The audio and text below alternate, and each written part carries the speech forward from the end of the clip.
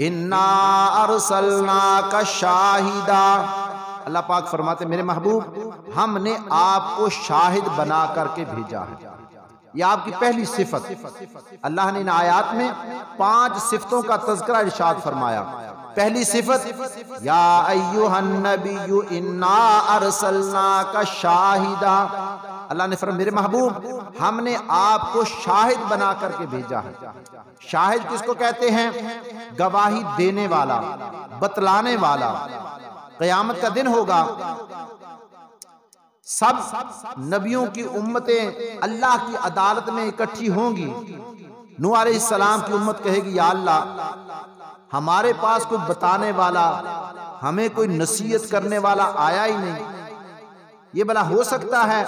हमें कोई नसीहत करता, हमारे पास कोई नबी आता तो हम उसकी बात ना मानते। या अल्लाह, हमारे पास तो कोई बताने वाला आया ही नहीं, हमें डराने वाला आया ही नहीं। तो अल्लाह पाक फरमाएँगे कि इस उम्मत को इकट्ठा करेंगे। इस उम्मत के ओलमा से पूछेंगे कि बताओ नू सलाम की उम्मत सही कह रही है या झूठ कह रही है? इस उम्मत के ओलमा प्यारे नबी सल्लल्लाहु अलैहि वसल्लम के उम्मत के ओलमा कहेंगे, या अल्लाह, इनके पास नू सलाम आए थे, साढ़े नौ सौ साल तक इनको दावत देते रहे। इनको अल्लाह की तरफ़ बुलाते रहे। तो वो उम्मत कहेगी, या अल्लाह, ये प्यारे नबी सल्लल्लाहु अलैहि वसल्लम की उम्मत, ये तो सदियाँ बाद में आई है। ये कैसे कह रहे हैं, कैसे गवाही दे रहे हैं? तो अल्लाह पाक पूछेंगे कि तुम कैसे गवाही दे रहे हो? तो उलमा कहेंगे, या अल्लाह, हमने कुरान में पढ़ा था। हमने कहा पढ़ा था? कुरान में पढ़ा था कि वलापद अरसलना नूहन इला कौमिही फलाबिसा फीहिम अल्फसनतिन इल्ला खमसीना आमा। या अल्लाह, हमने कुरान में ये बात पढ़ी थी कि अल्लाह ने, अल्लाह के कुरान में ये बात मौजूद है कि नू सलाम साढ़े नौ सौ साल तक अपनी उम्मत को दावत देते रहे। या अल्लाह, ये तेरा कुरान सच्चा है। तो जब उम्मती, प्यारे नबी के उम्मत के ओलमा ये बात कहेंगे तो प्यारे नबी सल्लल्लाहु अलैहि वसल्लम इस पर शाहिद गवाही देंगे कि या अल्लाह, मेरे उम्मती जो कह रहे हैं, ये सच कह रहे हैं।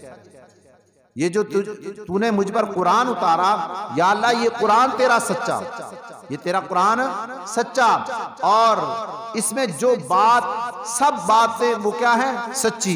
तो प्यारे पैगंबर वसल्लम कहेंगे, या अल्लाह, मेरे उम्मती जो कह रही है सच कह रहे हैं कि हर नबी, हर उम्मत के पास अल्लाह ने नबी भेजे हैं।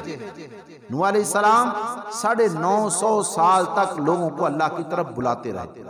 और इस पर प्यारे पैगंबर सल्लल्लाहु अलैहि वसल्लम उम्मत की गवाही पर अल्लाह की अदालत में गवाही देंगे कि, या अल्लाह, मेरे उम्मती जो कह रहे हैं ना, ये सच कह रहे हैं।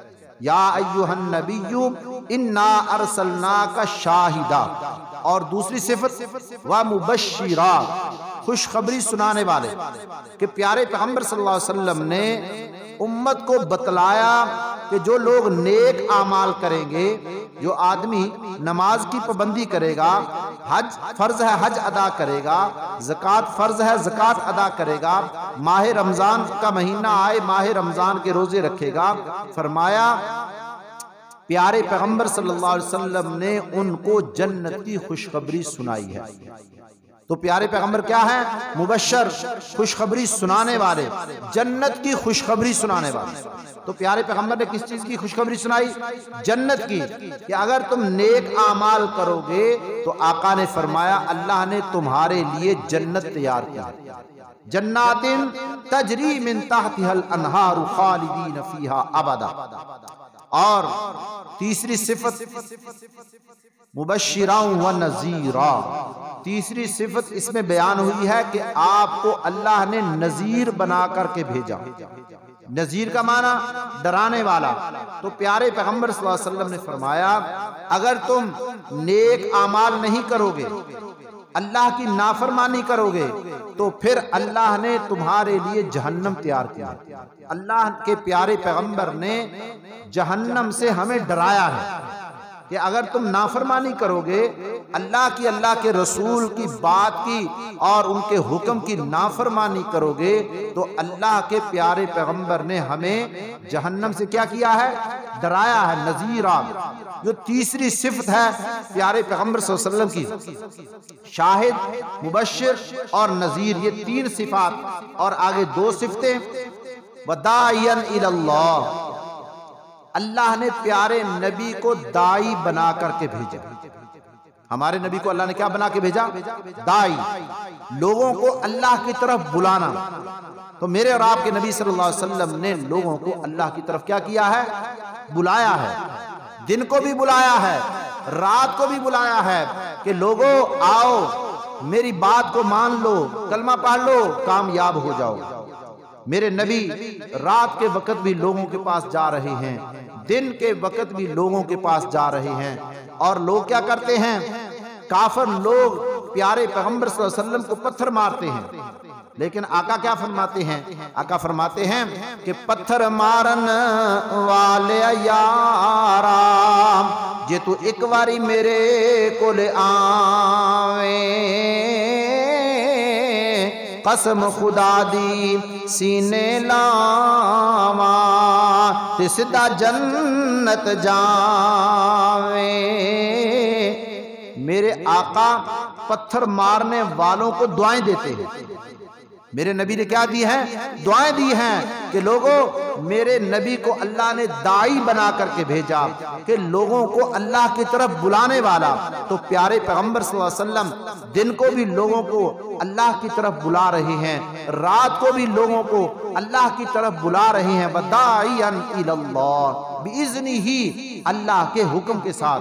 और ये चौथी सिफत और पांचवी सिफत अल्लाह ने, प्यारे पैगंबर की इस आयात में ये बयान फरमाई वसीराजम मुनीरा।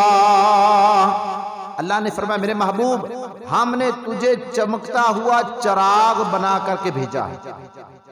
अल्लाह ने हमारे नबी को क्या बना करके भेजा है? चमकता हुआ चराग।